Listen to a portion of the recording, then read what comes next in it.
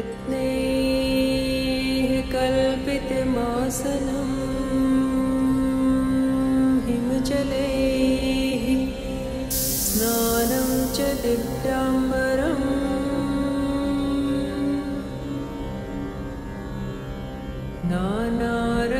नानारत्नविभूषितं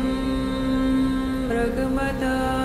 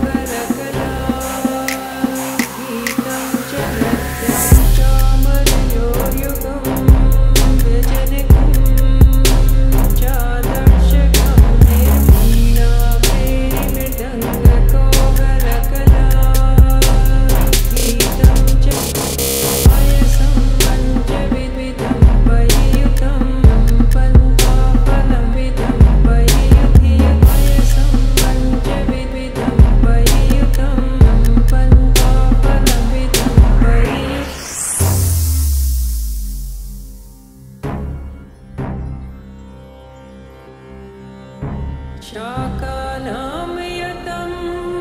जलं रुचिकरं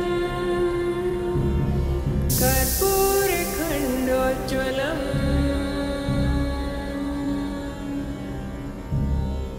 तम् मूलं मनसामया विरचितं भक्त्या प्रभु